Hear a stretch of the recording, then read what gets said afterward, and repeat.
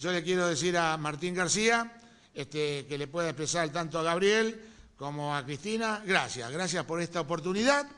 Y bueno, yo doy las gracias por todos ustedes, por poder tener la oportunidad de tener la información este, en el mismo momento que los medios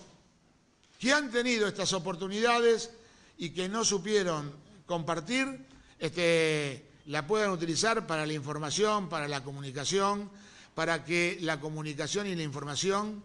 sea mucho más democrática que hasta ahora. El Estado es garante de los derechos humanos y en el caso particular, Telan se ha puesto el hombro eh, asegurar el derecho a la información, que es uno de los derechos consagrados en la Carta de las Naciones Unidas de Costa Rica del año 45, eh, y lo hace en el marco de, de la Ley de Servicios de Comunicación Audiovisual, que plantea que los medios de comunicación locales deben hacerse cargo de generar noticias locales, regionales y, provinciales. Y nosotros tratamos de resolver el tema de las noticias, en primera instancia, de las noticias nacionales e internacionales, para apoyar a los medios de comunicación a desarrollar los contenidos locales, que son los que mantienen su vínculo más fuerte con su comunidad. En este momento estamos llegando al, contrato número 7000 de nuevos medios que se han incorporado este año a Tela. Nosotros el año pasado teníamos 450 medios que recibían la información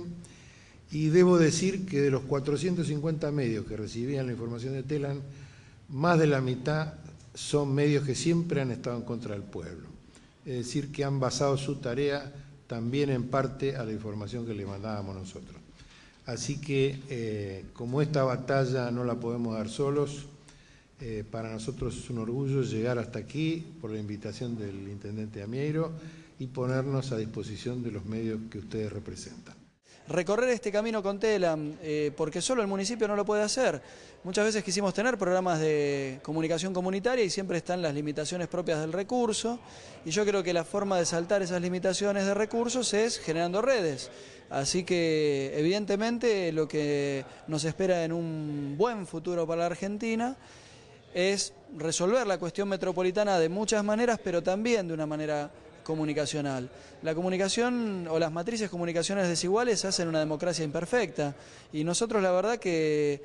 si por ahí no nos habíamos imaginado que íbamos a tener tantos años de democracia y ahora nos podemos imaginar una consolidación democrática, eso es posible con un capítulo comunicacional importante e imbricado políticamente. La radio cuenta con el servicio TELAM, que es muy importante, sale cada hora la noticia fresca para que el oyente esté al tanto de todo. Eh, fue una novedad para el oyente poder encontrarse con la noticia al minuto. Inclusive cuando hay avisos importantes, el oyente llama a la radio y dice qué bueno que nos pasaron tal aviso o qué bueno tal noticia que escuchamos en el top de la radio. Este medio local, nosotros somos una radio comunitaria chiquita,